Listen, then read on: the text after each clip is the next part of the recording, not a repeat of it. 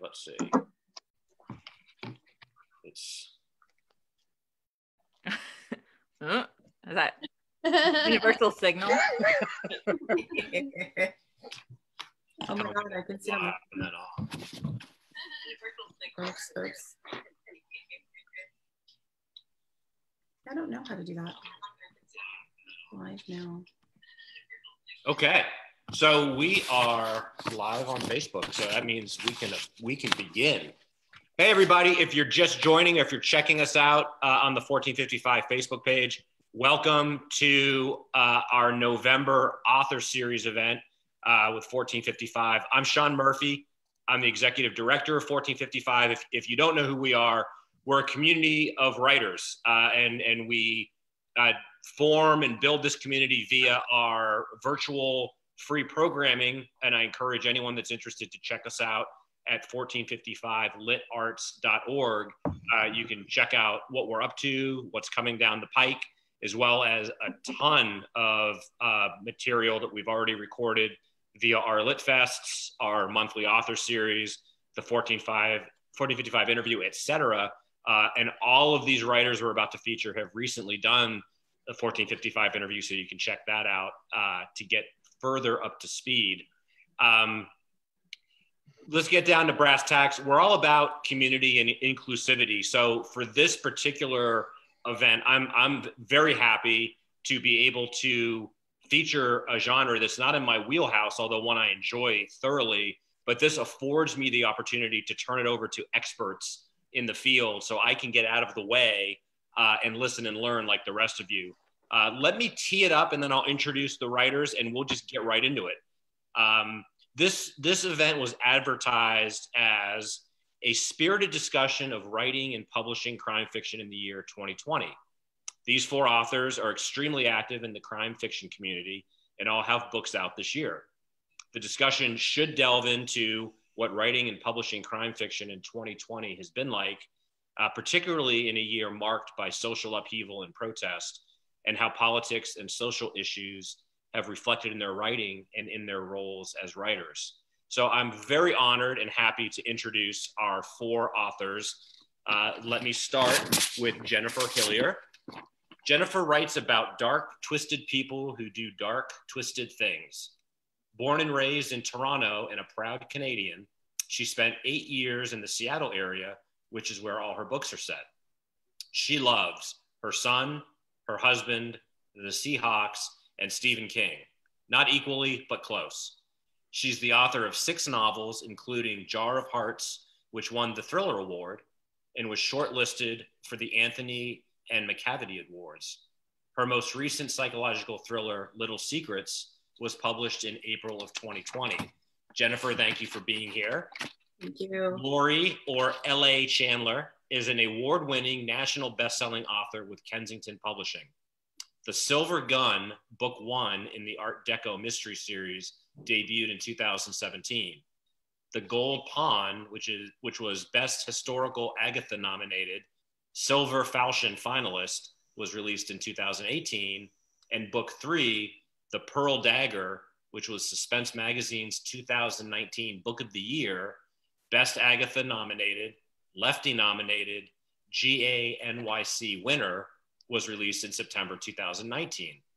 Lori takes a fresh look at the innovative and artful side of the 1930s New York City and features Mayor Fiorello LaGuardia. Her Fight to Keep Creativity Alive series focuses on creativity and how it helps us work, play, and live more fully. She lives in New York City with her family. Thank you for being here, Lori, AKA LA Chandlar. Next is Vanessa Lillie. She is the Amazon best-selling author of Little Voices, which received starred reviews in Publishers Weekly, Library Journal, and was a best debut of 2019 from Bolo Books. She's a board member of Sisters in Crime and regular contributor to the Providence Journal. Her next book, For the Best, was released in September, so her most recent book, and she's currently working on her third, which is set in rural Oklahoma. She's originally from Miami, pronounced Miami, Oklahoma, and is a member of the Oklahoma Cherokee Nation. She now lives in Providence, Rhode Island with her husband and sloth obsessed son. Smitten with the small estate, she enjoys organizing book events and literary happenings in the city's robust creative community. And finally, and far last but far from least, Ed, aka EA Aymar, uh, who we have to give a quick shout out to because Ed, like he does all the time as the platonic ideal of the literary citizen, organized this panel, introduced me to these other great writers, of which I'm very grateful for, and is going to uh, take the conch for me in a moment and really uh, take charge of moderating, which I'm delighted to see the stage because, as you'll see, he is a raconteur and an all around great guy. Let me introduce this awesome writer. Uh, his most recent thriller, The Unrepentant, which I read and loved and recommend, like I will be recommending all these other books, was a nominee for the 2020 Anthony Award for Best Paperback Original, which was published in 2019. And he was, uh, along with Angie Kim, part of our author uh, series back in April of 2019, as well as being in our last two Lit Fests. So you can check him out when you go to 1455 Lit Arts and see him in action. His next thriller, They're Gone, is publishing tomorrow under his pseudonym E.A. Barres. He has a monthly column in the Washington Independent Review of Books and is a former member of the National Board of the International Thriller Writers. He's also an active member of Crime Writers of Color, the Mystery Writers of America, and SinC. Uh, he runs the virtual Noir at the Bar series for Washington, D.C., and has hosted and spoken at a variety of crime fiction, uh, writing, and publishing events nationwide. If you're watching on Facebook or joining us here, I also um, encourage you to send a question to me directly at sean at 1455litarts.org or put something in the Facebook comments we'll try to get to it. And last, before I get out of the way and shut up, I also encourage you to support independent bookstores. We continue to partner with our pals at DC's historic The Potter's House um, in DC, uh, and they work with bookshop.org. You can click on any of the links at our website to buy any of these books that we'll talk about tonight, and I encourage you to do that. Uh, gang, thank you so much for being here. Ed, I'm going to uh, metaphorically hand you the mic and uh, I'll jump in as appropriate, but I'm happy to step out of the way and you guys can get it on. Thank you for being here. All right. Thank you so much, Sean. Uh, just to make sure people can hear me. I assume so. Yeah. Okay, good. Um, yeah, thank you so much. And I encourage everyone to check out 1455. Uh, when Sean started this two or three years ago, um, it just blew up with a series of events and a literary festival that has gone for two years straight and gets some of the best names in writing, regardless of genre. Um, so I really encourage everyone to check it out. And thank you so much for what you do and for having us on tonight. My pleasure. So I wanted to start off.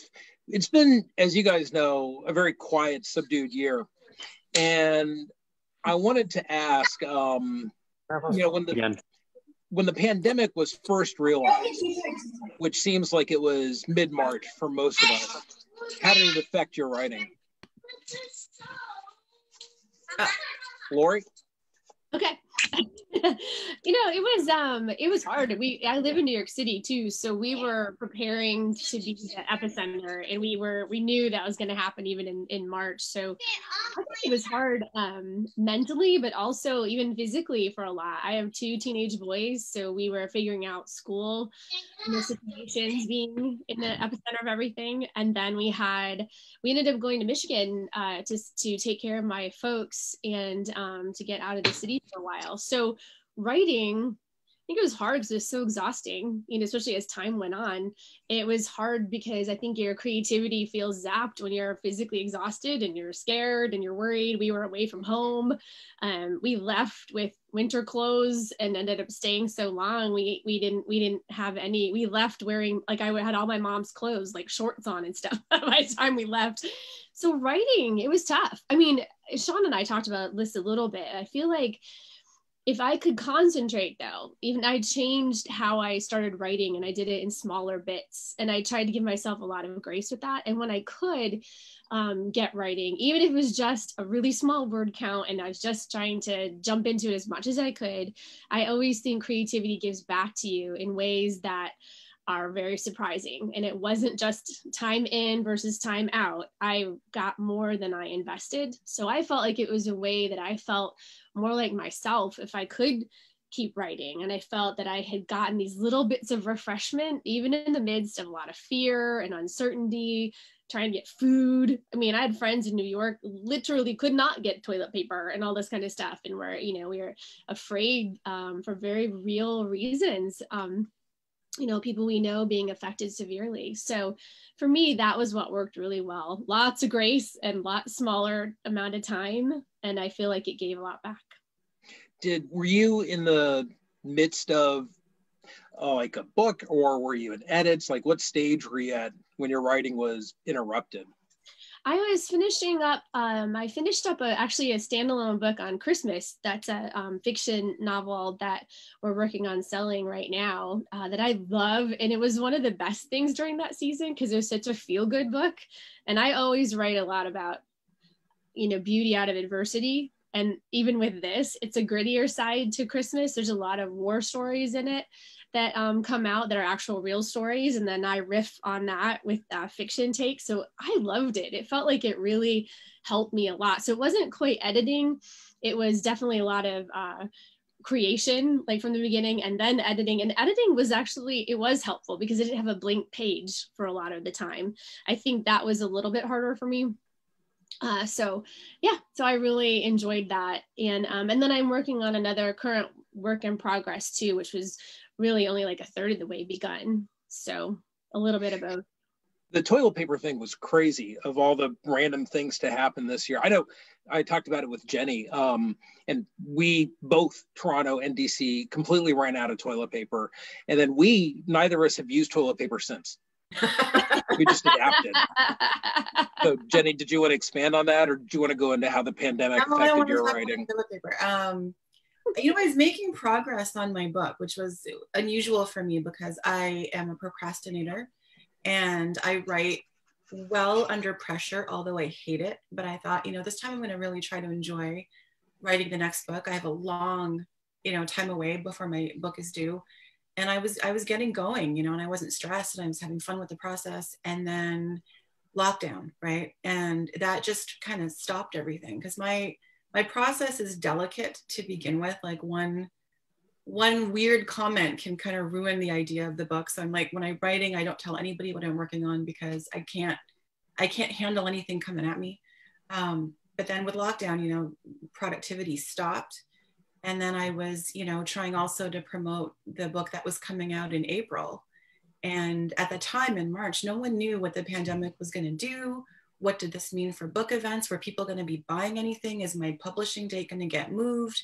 Some people's were. Everything was really kind of up in the air. And I had done exactly one Zoom event uh, prior to the pandemic, which was just a podcast. And I didn't know that we were going to go virtual. I didn't know that it was going to be this thing. So um, it was just a strange time. And I, you know, can't say that I recommend releasing a book during the pandemic. Um, but I think the timing of my book, I got lucky because I think if it had been coming out in March when no one knew what was happening and everyone was really, really scared, I think that would have hurt sales a lot more. But I think because I came out towards the end of April, people were getting bored and kind of thinking, okay, you know, I'm going to upgrade my Netflix. I'm going to, you know, um, pay per view some movies. I'm going to buy some books mm-hmm. um, and settle in. And so that kind of helped, but it was just, a, it's, it's been weird. And I'm only now just beginning to kind of tiptoe back into the book, but it's been so long since I've been away from it that I have no idea what I'm working on.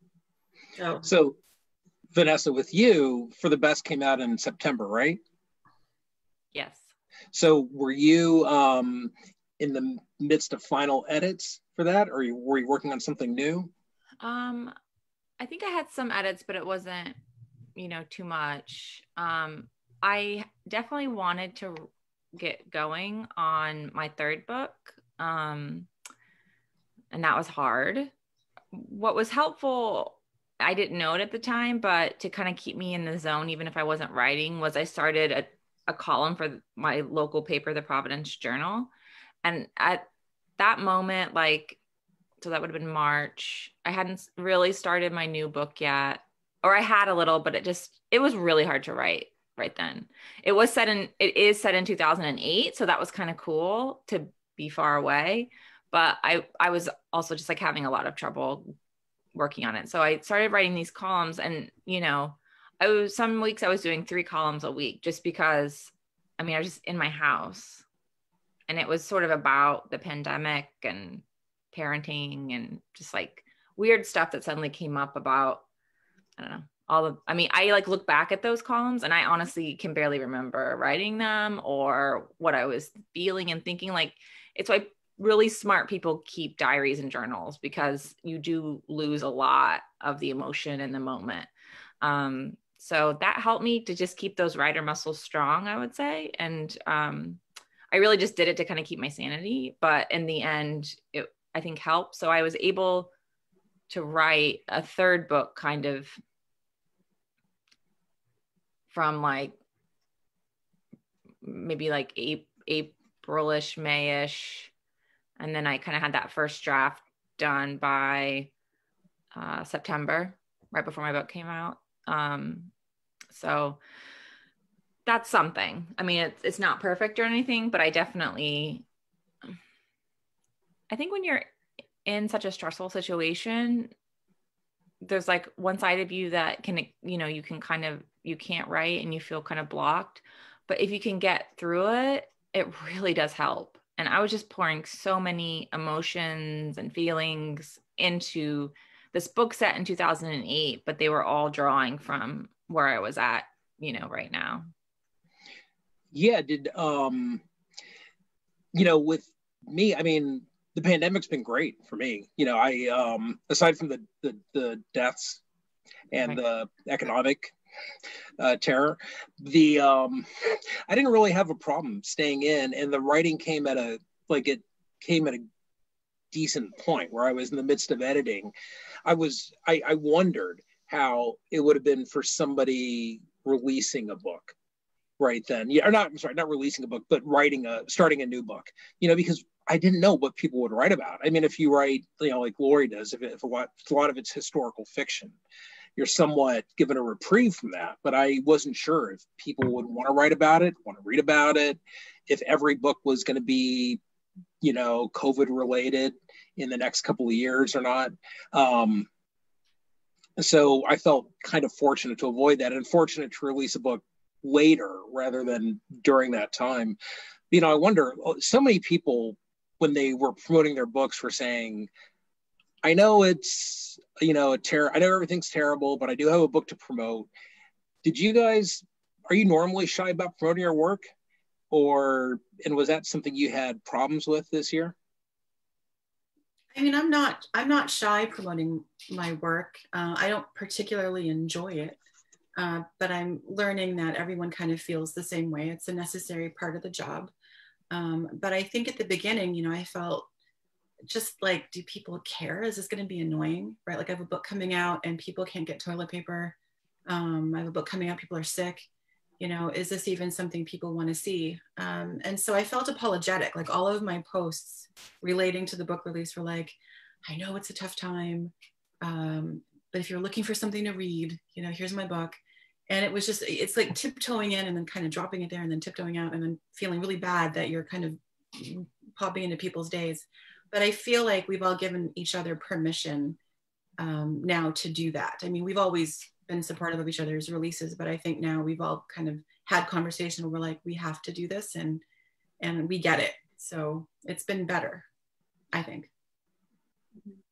I think people were, I think we we might have felt awkward about it, but I think people in general were really appreciative of it because of the fear and the boredom. And I had all sorts of people where they wanted to read about it more. So they were looking at all sorts of books on pandemics. like my friend uh, Ellen Marie Wiseman just wrote The Orphan Collector. It's about the 1918 uh, flu. people were buying it like crazy. And there were so many, it's such a good book. Um, but then others wanted to escape and then it gave a variety. I think with all of us, it was something I thought one of the hardest parts of the pandemic was all of us have been so grateful for what we do have and I, you know even in the midst of really difficult a lot of difficult situations we were a lot of us were very grateful for the people in our life or our safety or whatever you know you, we had this uh, it was easy to thank you know some of the things in our life but there's nothing to celebrate. And it was like there's this lack of joy that was really hitting me hard too with all the conferences being canceled and stuff. And so in a way some of the launches i got excited about because out for other people because i'm like oh good i can celebrate that. So i think you're right. I think it might have been a little awkward for all of us that are promoting our own stuff but honestly i think it was received really well what about you, V? You yeah, I, I of course always feel awkward, but I try to lean into stuff I do love. Like I love swag, so I got magnets and I got bookmarks, and I you know built a little list of a few hundred people to send things to, and that made me happy. And Instagram always makes me happy, so I just tried to do the stuff I enjoy more. Um, and I would just also say it just on the sucky end of it like I really miss bookstore events. Like, and I know bookstores do too because they're not making that much money off of, you know, Zoom stuff. They're doing all right on it, I think, but it's not the same. Not only from a standpoint of selling books, but just you know the actual community, the interaction. You know, I my heart like breaks for people who debuted this year because I just feel so lucky that I was the year before because there were so many bookstores that I just reached out to, you know, because I had those relationships, but I would not have had those a year ago. And it's, and that's what a lot of this business is, you know, is relationships. So I could just contact them and say, Hey, I'll come sign books for you. Do you want me to? And they're like, Oh yeah, that, you know, your first one sold pretty well. So come back in. But if you're the first time emailing them, the first time calling them, not even popping into the store, which is what I did before, right? For face to face, like it's really difficult. So I love like a Mighty Blaze and places like that that have really leaned into helping particularly debuts anyone but i think for debuts especially like it is the most bewildering process in the best of days and so with covid and just lower sales and bookstores being you know closed and i mean it was just a mess so i i really feel bad for debuts this year you know, so much change this year with conferences, you know, like you mentioned, uh, everything going virtual, marketing changed, uh, so many events were canceled. What was, um, for you guys, what was the biggest adjustment?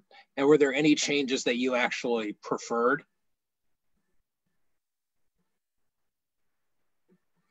Like for me, I actually really like the uh, virtual noir at the bars we do. I love the in-person ones. I love the energy, and I really worried if that would translate. You know, I worried that, you know, I have a singer there, we have a mixologist, um, and I was like, is this going to have the same kind of resonance that it would as a live event? Um, especially where you get, you know, people in a bar who are drinking and a little livelier.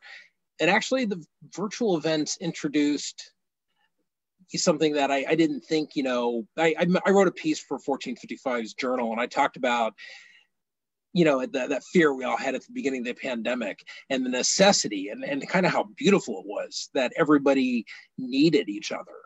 You know the first time i did a zoom call with work colleagues we were practically you know in tears. We were so happy to see each other and, and, and bewildered at the new way we were doing things. And we were all in it together. You know we all had our kids around us. And obviously that that that split right? We don't have that anymore. But I still find that there's uh, some of that's remained, and, and the community that turns back to this is um, is still that, that keeps coming to these virtual the virtual north bars that I do at other events. Um, still seems to to to to have that connection. What about for you guys? You know, I I at first I really liked all the Zoom events because it was there were so many things I couldn't go to before as a mom. Like I can't travel to everything. And so I kind of would pick my events for the year. And usually that was BoucherCon and Thriller Fest. Um, but I couldn't do a lot of the little ones. It was just hard. And then this allowed, like doing everything virtually allowed everyone, I think, to jump in and do events, which they normally wouldn't do. I got to support bookstores across the US that I normally would never be able to visit. So that was cool but I think what I've noticed, like now that we're nine months in and I've done a bunch of these now, I counted actually that I've done 50 virtual events. It's, you don't five get zero, five. five, five zero. Yeah, this is, this is, this one is five zero. Um, I, I miss the, the, the energy that you get from talking to people in person, right? Because you're staring at your camera and you're seeing faces and it's wonderful to see everybody, but you're not getting the engagement from the audience the way that you would if you're at a, an event. And so it feels it feels depleting in a way that going to BoucherCon or going to Thriller Fest or whatever wouldn't because there's that exchange of energy. And I think that's the part that I I think I'm officially kind of burning out a little bit just because I miss everyone. I miss hugging and mm-hmm. sitting beside someone on a chair and then and and gossiping, right? Because we can't we can't gossip here because people are, you know, it's different. I've that. been sending you private notes the whole time. Well, you do, yeah. No. Yeah. so I mean, during the during the meeting, during right now during the session. Yeah. Lori or V? I felt the same way. I, I hope that I was surprised how well the Zoom stuff works. And I loved that because I think in the desert that we've been in, to have that was like, oh my gosh, there's a breath of fresh air. Like when BoucherCon, I still remember when they had the first meeting that ended up being really long, but for all the nomination, the nominees, I jumped into the room when almost a lot of people had gathered already. And I started to get all teared up because so many of my friends' faces were on the same screen. And I was like, oh, I didn't I didn't know how much I missed that. So I love how much that has really helped a lot. And I think it's been uh, exciting to think outside the box like that. I hope, in the, but I, am like you, Jennifer. I, I miss the in-person stuff. I, I do miss hugging people all and, you know, just seeing how they're really doing in that one-on-one uh, connection. But I hope in the future, maybe there's a hybrid, you know, maybe we do some more in person. And then like you were saying, doing things that like, I haven't been in to go to any of Ed's noirs at the bars because of, you know, just distance. And so to be able to be part of those has been great. Mm-hmm. I totally agree. And I think it's helped us find some, like you're saying, some fun in what's not fun and connect with people. And like Jenny and I did an event at a Tulsa bookstore, you know, like it was just like that's cool to be able to connect with places all over and at least meet them. And what I found is it's almost like um, building a relationship with a store you probably you know wouldn't have booked an event at per se right but they're looking for content and connection and so you know there's a couple bookstores that's able to have events at with another author's come her book's coming out tomorrow shannon doring and um just because of that you know kind of fun random thing you know when i go back to chicago i've got two bookstores i want to go like meet people and say i had an event with you which would not have happened you know otherwise i could not have just made it to Chicago. Um, so I think it has also opened up opportunities for the future. Knock on wood. Um, God bless Pfizer, but I, you know, definitely think it hasn't been, you know, ideal, but it's been enough and can also just lead to us having, you know, additional relationships with other places we wouldn't have had. So, you know, one of the things like, you know, the relationships and the the benefits we got from this you know, are not benefits. I'm sorry, the the um, whatever we managed really to salvage out of it, um, I think was even more rewarding. But you know, like I mentioned, there is that.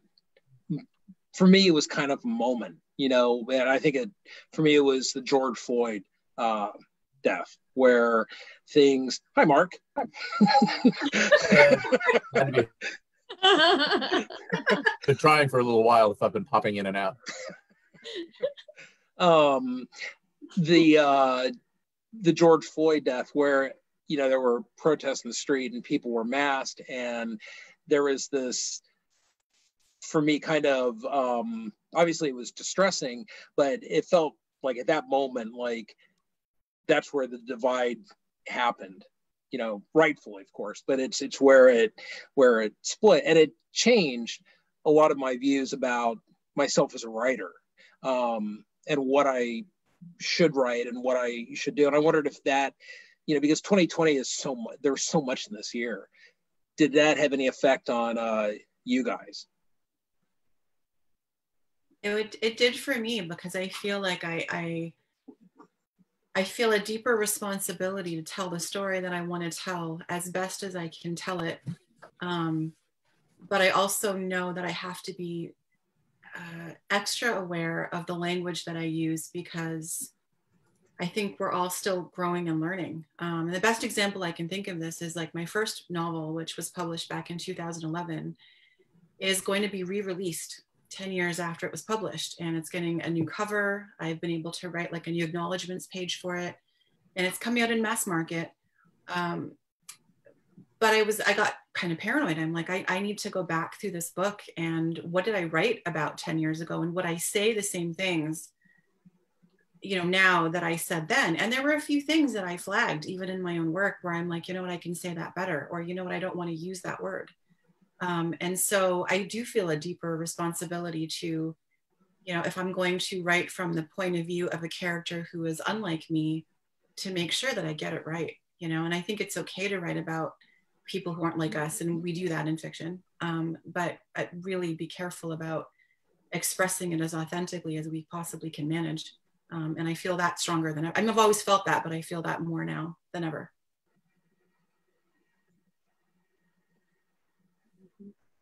V, Lori? I can say, I mean, I, you know, for me, and I think this is something Jenny and I have talked about, like, I've never been afraid to express how I feel, but I'm generally somewhat passive. You know, I'm not the, I'm not confrontational. I'm really not going to get in your your face about something.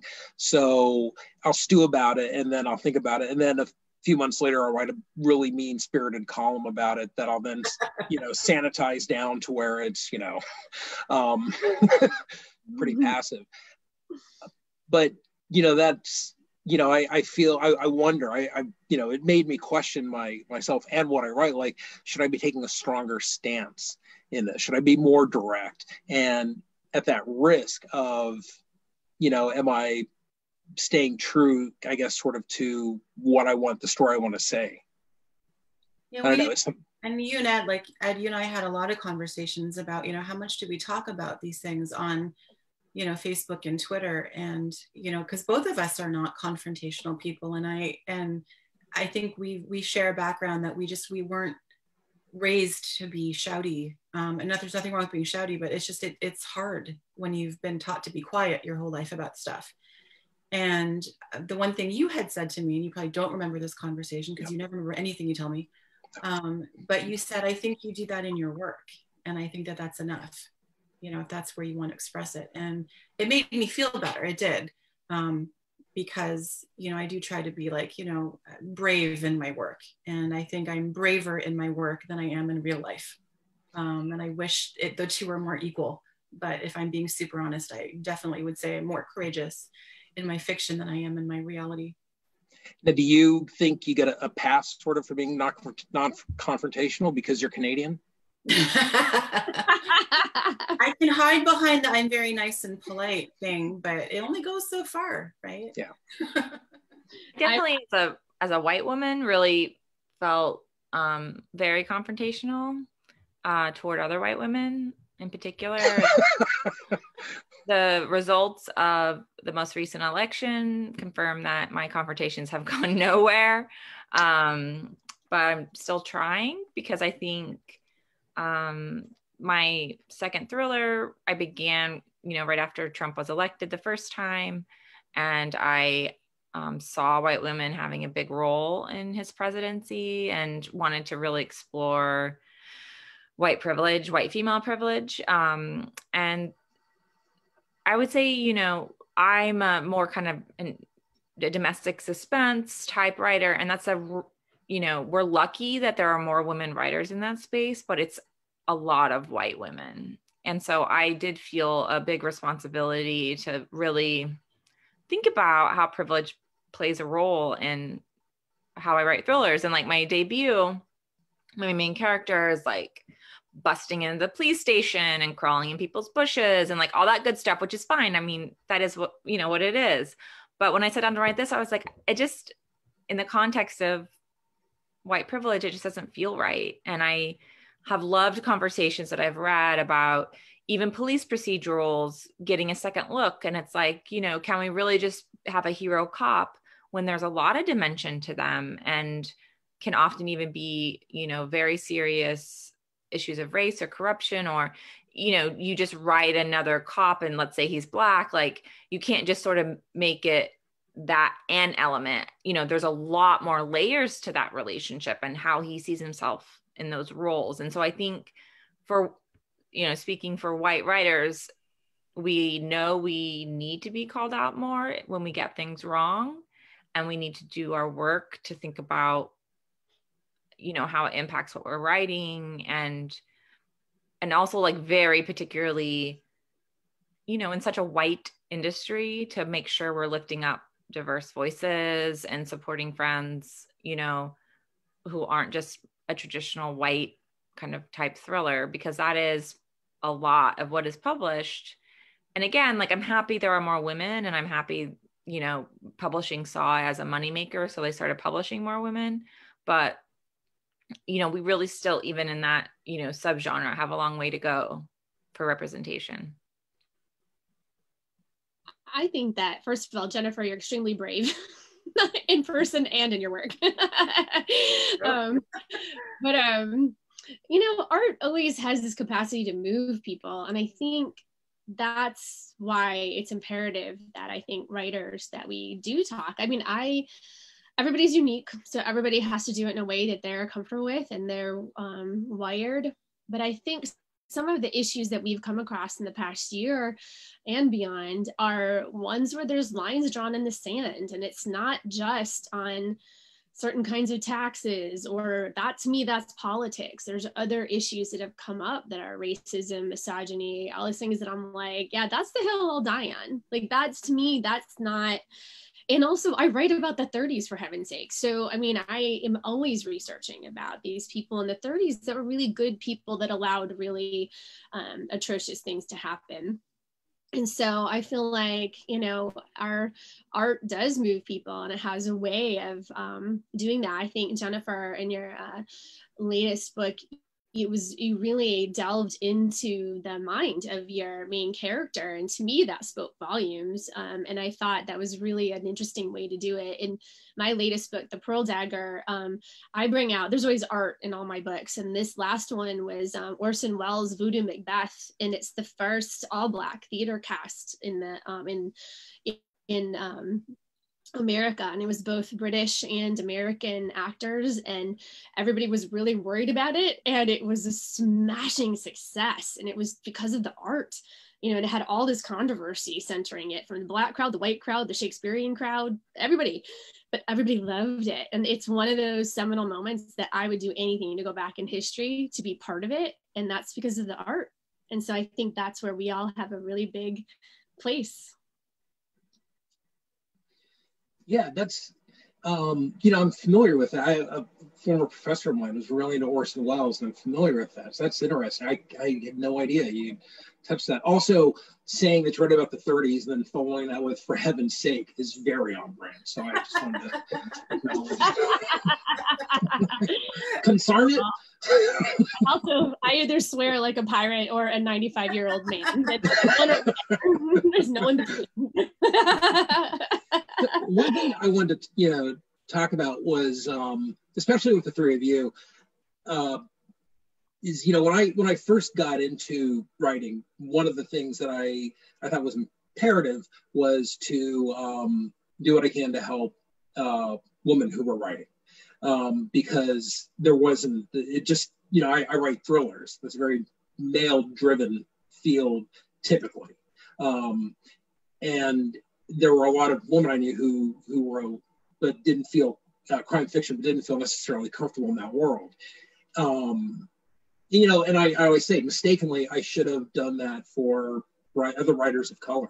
I just didn't know there were any others out there. Like I, I say, I was everyone's black friend, and I'm not even black. I was just the closest, you know, they had.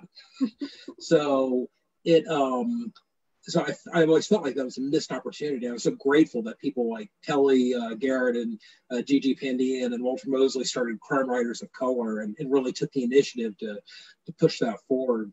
But when it comes to, to women writers, what advice would you give to a debut uh, female crime fiction writer? Oh. And I'm going to interrupt with a well, actually. a debut. It's you know, to be brave. I mean, to be fearless and to tell the story that you want to tell. Um, you know, for me, one of the the things I got a lot of pushback on when I started writing was that the default, um, our default reader and default novelist was white. And so my main character in my first book, and all of my characters are women of color. Um, was to I had to explain to the audience, to my readers, that my characters weren't white, and which was such a weird, inauthentic thing for me to do because as a woman of color, um, my background is Filipino. I don't walk around thinking about my Filipino-ness ever. So the idea that I'm writing a character who is half Chinese, who is describing herself as Chinese to the reader was strange to me. It felt weird. Um, and actually, those are the references that I took out in the edit of my first book that's going to be re released because they bugged me forever, but I didn't know how to push back at the time. I was too young and I didn't have, like, there was no social media for us back then where we could ask each other these questions in private. It was 2008, 2009. So it was, it was just different then. But I would say to a debut, you know, be push and be brave and and it has to feel like you. Um, it's so not worth it if it doesn't feel like you.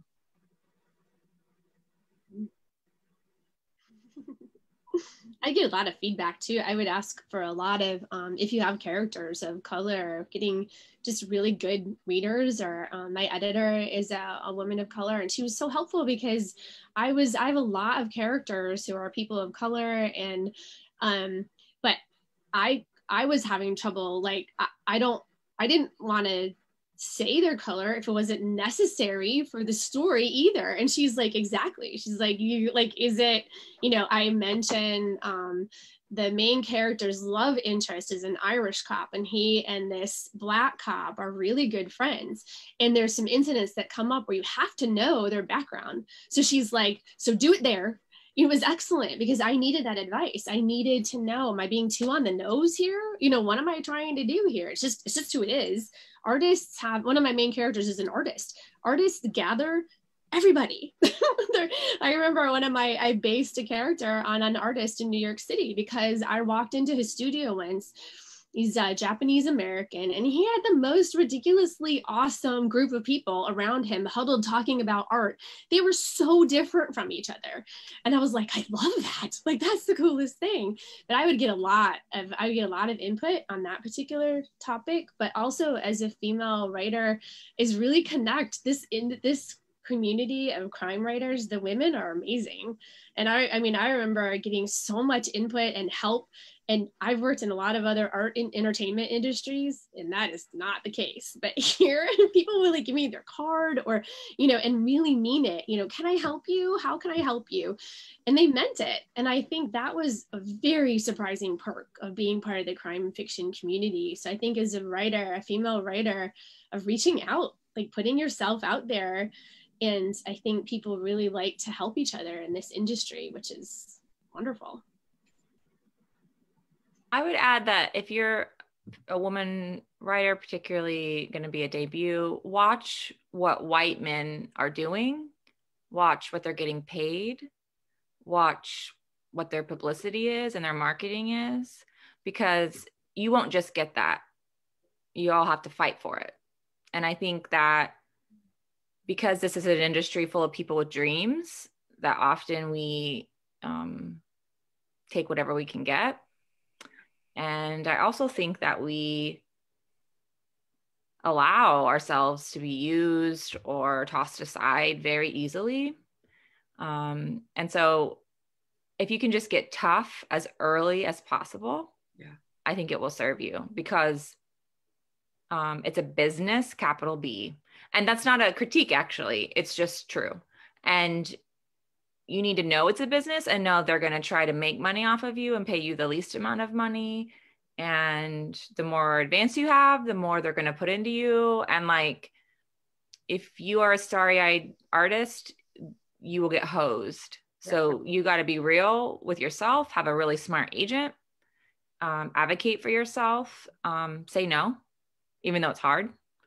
Um, because i just have a lot of friends and I know a lot of people, women, I know a lot of women who still, even several books in, deals come out, these men get paid two, three times what they get paid. Um, their marketing is two, three times what their marketing is for n- no discernible reason other than just gender. Um, and that, sure that's doubly true, even just for, you know, people of color, actually probably triply, quadruply true for people of color. So I'm saying that as a white woman, let alone a woman of color. Um, which so um, definitely don't let your artistry and your dreams trip you up. Make Yeah. sure you know it's a business. It took me a long time to feel worthy, you know, and I, if I could go back now, I wish I had felt worthy sooner. I think I would have saved myself a lot of heartache. Um, I didn't feel worthy enough to ask questions. I didn't feel worthy enough to ask for the things that um, that I thought would make the book better. Um, and a lot of times that answer is no, and that's fine because we can survive the no. My only regret is I didn't ask. And so, you know, if you stick with it long enough and you improve your craft, if you're lucky, if you're lucky, the money sometimes comes. But in the meantime, you know, when you're in it, uh, don't forget what you're worth. That's the thing. And I, oh, God, it took me four books to figure that out. So, And um, uh, Susie Coughlin just brought up a great point. I'm on the board of Sisters in Crime, and I'm actually a pretty new member. I've just been in that organization about three years, and hearing them speak, and the reason they were kind of founded by Sara Paretsky was about parity, and all of the reasons why she founded that organization remain. I mean, parity is a very. I mean, she kind of. I think part of it was around like are men getting more reviews than women, which I'm sure is still true. But I feel like the money issue is even bigger now than it used to be. And I just, from a gut level, and I read Publishers Marketplace every single day, I think, you know, there's still some. I know there's a parity issue still, and that is like tenfold for writers of color. There are the little, you know, the one rock star moments for some, but if you are just like, you know, a normal writer trying to get a normal book published, there's a lot of issues there. And the pay is low because it can be because we don't advocate because we're scared. And Right. I group myself in that too. Let me ask a question. Um, you know, because I know you know Susie and Tara here and John, who are all published writers um, with agents. But for people who are watching this on Facebook Live or who see it after, who are aspiring to be published, you know, um, are you guys comfortable pushing back against, you know, everybody in the industry that you and, and what would you recommend us what advice would you give somebody to get, to get comfortable with that you know if you have to push back against your agent or your editor or your and it's and it's you're new to the industry you're not you haven't gotten your footing yet.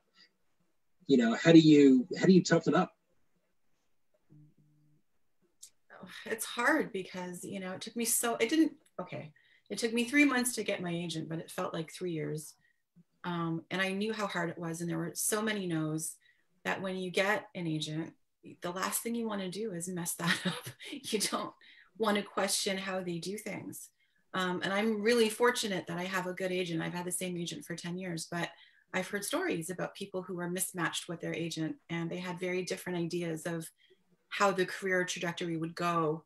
And that's tough you know because when you finally have someone on the phone who's saying i want to represent you how do you then ask questions about you know what's your working style and are you going to push for the most money and you know do you edit and what if i don't want you to? And and so many of those things are like they're decided between the author and the agent. That's just one example. And then same thing with the editor right? You have to have an editor that you feel comfortable being yourself around. Um, and it took me a while to find that groove with with an editor too. And i have it now. Um, but it it's hard because when you're new you feel like you have uh, no right to ask for those things or to push back. Who are you to say that this book is great and should sell for x number of dollars? Um, it's it's such a delicate thing you know it's it's that's not advice i, I rambling but I, it's just hard. It's hard and i feel for every new writer who doesn't know which direction to go. Well, I I think would- it- oh, okay. You have to ask questions a lot. And if you're, I'm on my second agent, and if your agent is either unable to ask questions or doesn't like you asking questions, that's a really good sign. Also, not every book is created equal. my husband's been in the music industry for 20 years, and people would write songs, and then I think it's the best song that's ever been written. And you're like, it's not not the best song. So it's books are like that too. So just because you're, I think you have to have a balance. You have to be, you have to accept critique and you have to constantly want to be better, but you have to be able to push back, like you said. And I think getting a wide variety of people around you helps you with that you know um and yeah i would start asking questions and see how your agent or potential agent asks them answers them can they answer them or are they you know getting uppity about it or you know how do you work together even just in that way helps a lot. If you go to conferences more you start to know more ask questions there too about agents about publishers about everything because it's all information that helps you understand the industry a little bit better. And to build on that i totally agree. If if you look to community as we were talking about earlier um, one of the luckiest things that happened to me as a writer was that I was chosen for the 2014 Pitch Wars as a. They used to have alternatives. It was like the B team, so I was on the B team, and Kellye Garrett, which that's rightfully so, was the A team, and we had the same mentor. And um, I so I've been in this group of people since 2014 who were in Pitch Wars, A and B teams, and to learn from them of their struggles and they're on their you know second third agents book contracts pull like to see the reality of what publishing is versus either what we've been told or what we've imagined which is never accurate based on my experience anyway. What i imagined was not true. So as much as you can just connect to other people who are also on the same journey even if you're all you know in the same place together you know to be able to grow together, mm-hmm. to learn things together, and share information and trust them because you have to be honest about this business. Information is power. And if you're not talking about, I mean, I'm a big believer in like we should share how much we get advances and how much we've been making and like what our deals are and what our terms are because when that information isn't shared when you aren't open about it who does that give power to and it's not you so I think find people you can trust, find people in the community who are learning along with you or even ahead of you. That's, I think, the best to just learn from them too, to help bring you along so that you can professionalize even quicker because it takes all of us a long time to do it. And if you see other people ahead of you learning, having the setbacks when they happen to you, you'll just have more of a perspective, I think. I'm so happy that uh, for two things. First is that we had this panel because I love the three of you, and I knew when I met um, Vanessa, really when we well we met earlier, but when we started talking, I just knew her as like this nice person who posted a lot on Instagram, and then I had no idea she was like this warrior goddess who just took heads right and left. Um, so that was, and I'm glad that that came out tonight because I wanted people to, to see that. But I also love the insight you guys uh, provided. And I know we're coming up to an hour, so I thought maybe we should, I don't know, Sean, if we're close to wrapping up, but I wanted to, um, there was one question I wanted to ask because one of the things that I love that the three of you touched on is the community and how important it is. And it's something that I know the, the four of us really cherish, um, and Mark too. Um, so I wanted to say, you know, we talked about 2020 and the change abroad and, and the, the change that for, you know, for Jenny and myself and, and for you guys too, like what it meant for our writing. Um, so this year happens and somebody somebody gets motivated, right? They want to, the kind of person who doesn't usually march wants to march, wants to be an ally. What to each of you makes a good ally? You know, for me, it was you can't save everybody and you can't save the whole world as much as you want to and as much as you feel you should.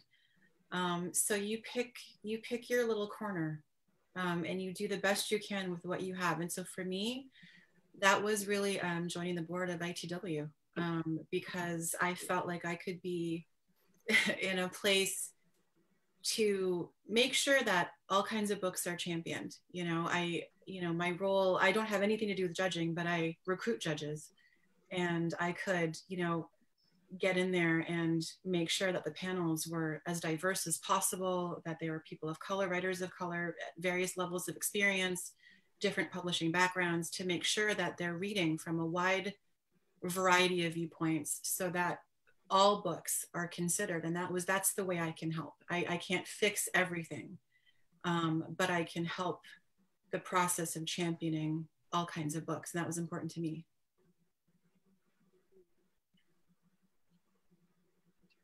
I would, I would just add the kind of my advice is more just for white people, particularly white people trying to be allies. This is simple, but it's needed.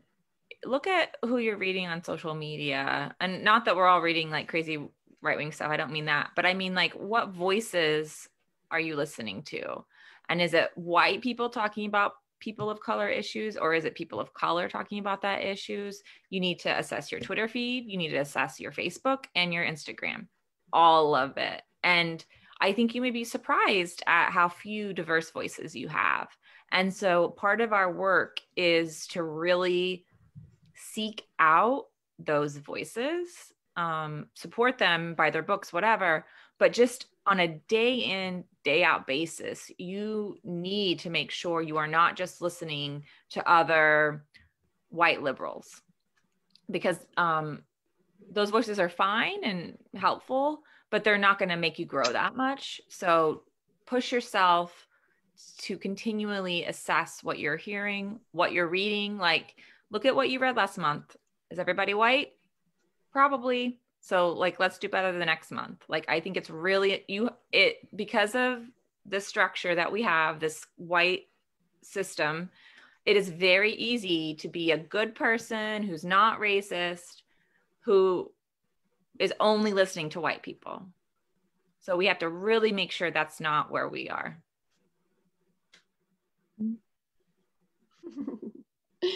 I think for me this year I've learned a lot too where you your your voice matters. And what if there's an part an issue that's important to you? It's important to me to stand up for other women too. And one of the things I learned the most is that the people who really change things the it's it's not the powerful and the wealthy people. It's the people who have just there's a line drawn and they're like and enough and you look at your allies of like are they the kind of person that will stand up for what they believe in? Will they stand up for me? Am i the kind of person that will do that? And i feel like so many times you wait for um, the people of uh, maybe that are wealthier or have been around the industry longer or you know whatever fill in the blank. But really it's the changers are the ones that just take a stand. And so i think your voice is really important and and um, just yeah look around and see if those are the kind of people that are that are around you and be that kind of person for other people. I'll say that you know to touch on what three of you said too you know it resonated with me. I mean the my favorite writers uh, when i started really taking writing seriously were james baldwin and f. Scott fitzgerald. They have very little in common and they have very little in common with me. You know, one was, uh, you know, alcoholic, uh, very slight man, and they're also a very slight man, but you know, a gay black man, and their writing wasn't similar, but something about their writing really captured me, but for different reasons. And the same true with Flannery O'Connor and others, but I, I, I think you know the reason that we're all you know that that you know we're we're writers we're writing is we've had those experiences where you've connected with people that you have nothing in common with and maybe we're a little aghast when we come across bigotry because that is you know so antiseptic to what we what we really love and believe. Um, but i would say that what i one thing that i wanted to to add on that is for me to I, I, think a good key that I've seen in, in people who are good allies, good supporters, is the listening. um, be like Vanessa and Lori said so well, uh, being a better listener has been um, the real key to being a good ally. Um, so I want to say thanks again to everybody for tonight and for tuning in. And uh, this will be recorded, right, Sean? As well? Or Yes. Being recorded. Yep. So so yeah, we will be able to repurpose and and share um, the knowledge that was dropped here. Thank you guys. This was so fun. Yes, this is really great. Yeah. Well, I want to I want to thank you all, and uh, I, I'm gonna I'm gonna throw this out there. I, I think there's there's a lot of there's so much great stuff because and, I think the first part of this discussion necessarily kind of looked back at the year we've had.